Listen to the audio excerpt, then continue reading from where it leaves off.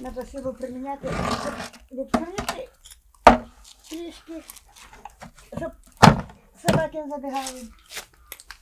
Тоді будуть не розвиватися. У цій кімнаті Світлана готує їжу. Говорить, проживати тут неможливо. Житло повністю зруйноване. Оце, де я готую їсти, я скажу вам. Оце в мене плитка електрична.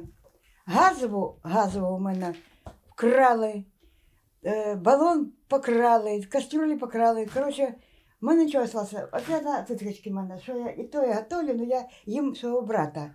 Я тут почти не, не їм. Оце була дирка. Просила, я просила людей. Оце що мені сталося, вікна мене під пленкою. Пуста розбита. Картини, картини залишилися. А це мені вчора, бо я говорю, дожі такі були, говорю, пожалуйста, розбіть що-небудь. Оце осталося, ми накривали кришу, залишився шифер, і це мені тут така дирка.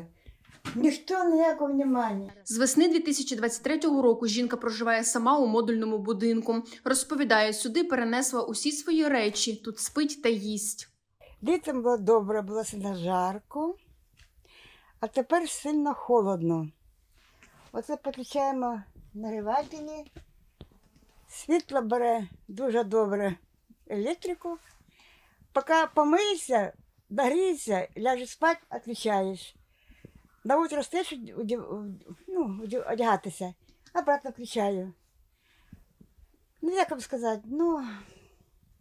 Ну, от літо було тепло було, повішується, висихається. Зараз прохладно, одежа така товста, нема де сушити. У мене оці, оці сумки, у мене оця вся одежа тут, от вся одежа, у мене все переповнено одежею. Оці ящика, все в одежі в мене. Світлана говорить, хвилюється, як в холодну погоду опалюватиме модульний будинок. Якщо, наприклад, е, буде світло відключатися взимку, да? то тут нам не положено ні газову плиту, нічого нам не положено.